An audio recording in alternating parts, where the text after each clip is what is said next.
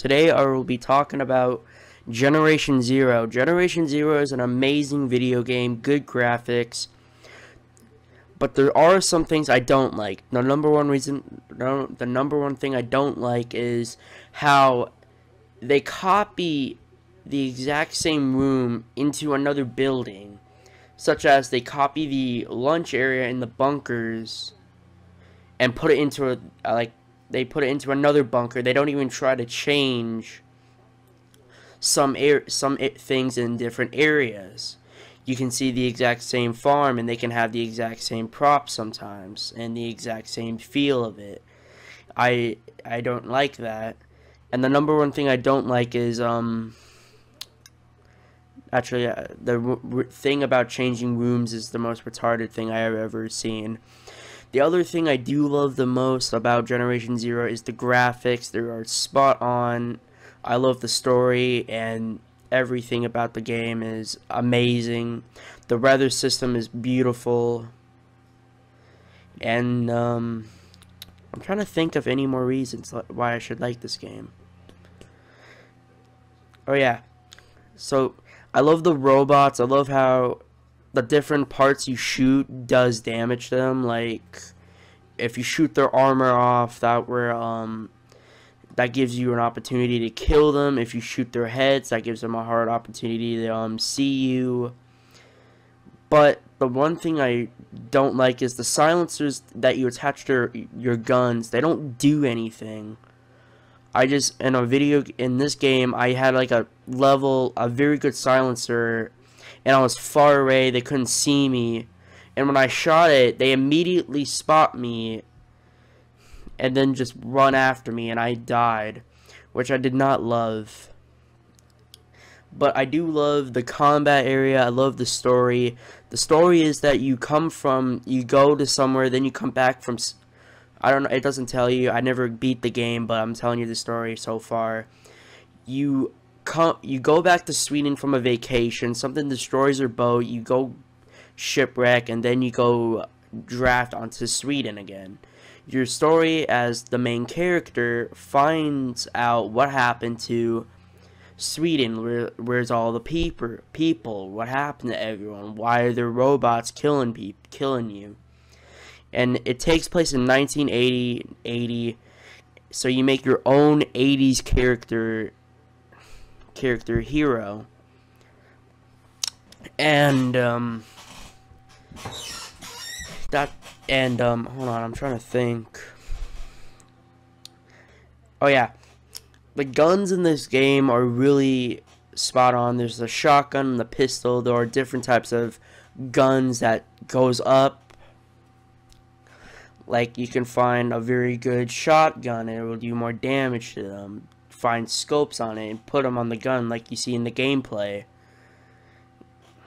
And um, and the one thing I don't find I find kind of weird about the clothing system is that each clothing has its own armor too.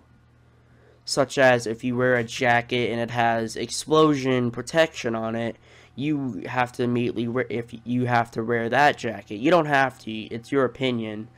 But in the PS4 edition, I have my character all red to make him look cool. And wears a gas mask, which the gas mask is incredible, impossible to see through. I took it off, took it off a little while through the gameplay. When I was playing the game, I played it with. It's more funner when you play it with someone. I played it with my dad on the PS4. It was more. It's more better with other people. When it's by yourself, it feels like there's no one in the. It feels like you're all alone. There's only robots that are after you. So what it the game is mostly an objective game. You have to do this to get leveled up.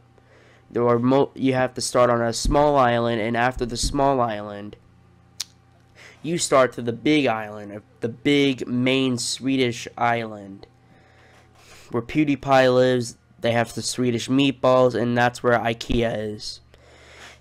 And um the game isn't bad, it's just, it gets kind of boring sometimes. And it is like an exploring game where you have to explore this to get to that. And it doesn't explain the mission too good.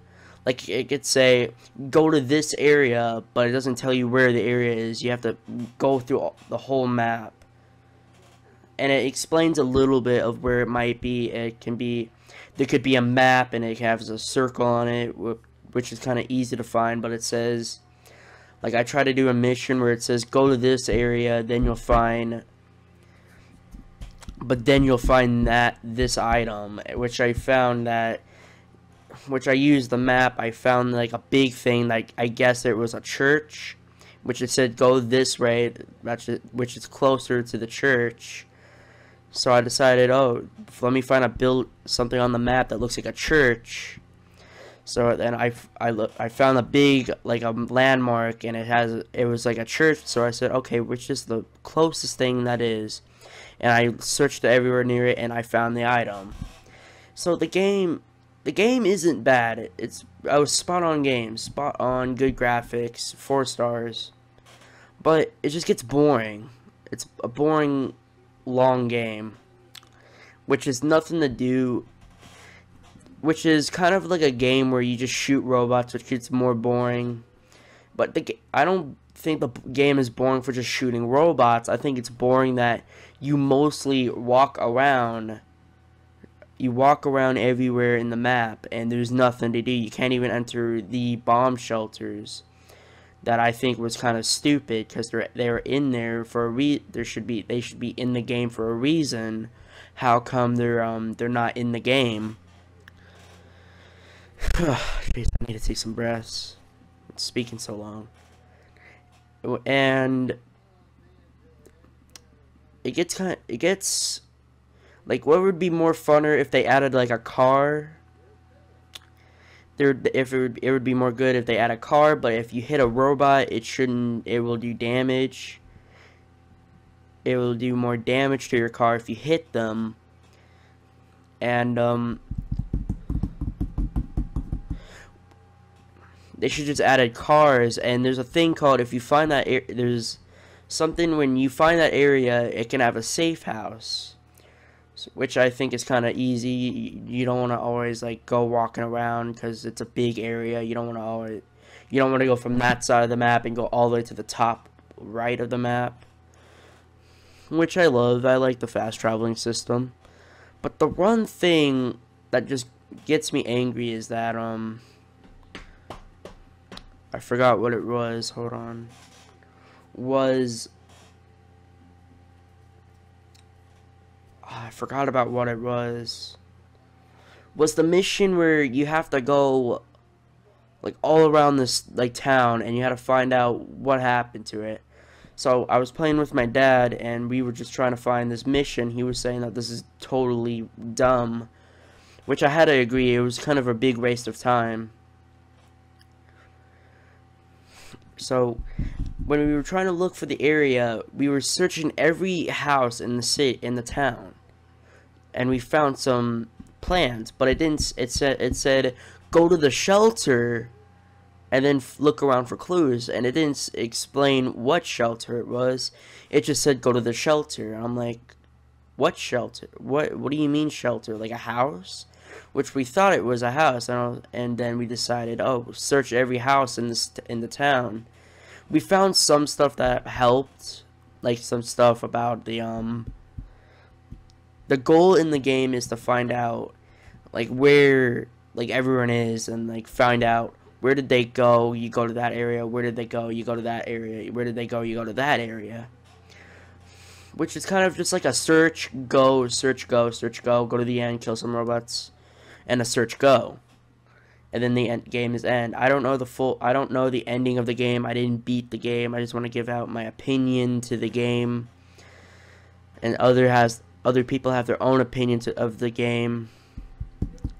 But I request that you don't play Generation Zero on your computer. It, if you have a amazing, big, strong computer, then it, you can play it. But if you have like a, a, computer that I'm using right now, and you go to the town, you'll see in the gameplay gameplay a little bit that when you go into the town on your like not powerful computer, it just lags. It's like a one. It's like an eight bit, not eight bit. It's like a slow motion like gameplay, which is so annoying. And um and half of the um, textures and half of people speak is well the game is taking place in Sweden and they speak Swedish.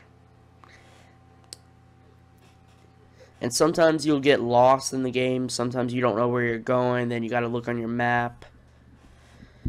But the game is good. The game is beautiful. I give it a 10 out of 10. Gameplay, I love that you can customize your character you go to the bunkers and you go to you have to try to find out like turn on the power and try to find out what happened. You get to customize your character to make it its own 80 1980s char- superhero character that you have to control. And I think that's all I have